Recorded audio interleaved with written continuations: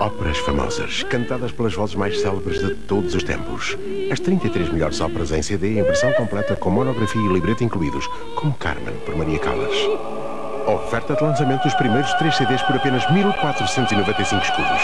Óperas famosas, já nas bancas. Enciclopédia TV